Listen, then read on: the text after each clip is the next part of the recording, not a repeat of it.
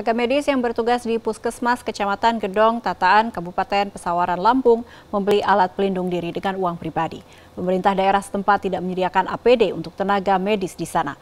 Selengkapnya disampaikan jurnalis Radar TV Lampung Muhammad Arif dan juru kamera David Sihotang. Pemirsa Jawa Post TV, kami laporkan dari Kabupaten Pesawaran, Provinsi Lampung. Sebanyak tiga puskesmas yang ada di Kecamatan Gedung Tataan, Pesawaran, saat ini tidak memiliki alat pelindung diri untuk itu, para tenaga medis yang sedang bertugas di garda terdepan membeli APD secara mandiri berupa masker hingga jas hujan.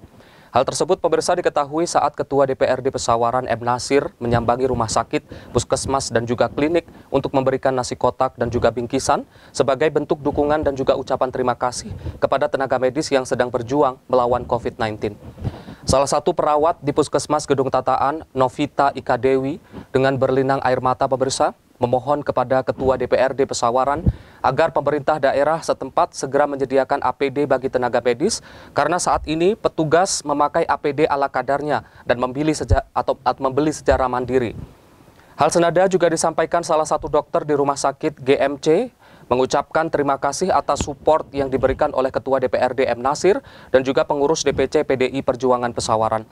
Melihat kondisi tersebut, pemirsa Ketua DPRD Pesawaran M. Nasir meminta kepada Dinas Kesehatan setempat untuk segera menyediakan APD karena dari tiga puskesmas yang ia tinjau, yakni Puskesmas Gedung Tataan, Puskesmas Bernaung, atau Puskesmas Bernung, dan juga Puskesmas Pembantu Wiono tidak memiliki APD dan juga termogun serta ruang isolasi yang tidak layak.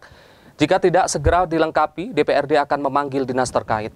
Diketahui pemirsa M. Nasir bersama Wakil Bupati Eriawan dan juga jajaran pengurus DPC PDI Perjuangan Pesawaran membagikan nasi kotak untuk makan siang dan juga bingkisan kepada tenaga medis yang bertugas di rumah sakit, puskesmas dan juga klinik sebagai bentuk support, serta membagikan masker, sabun dan juga penyemprotan desinfektan di Kecamatan Negeri Katon.